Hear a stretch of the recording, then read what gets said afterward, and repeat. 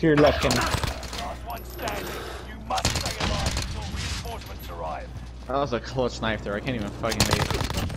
Fuck you! Damn.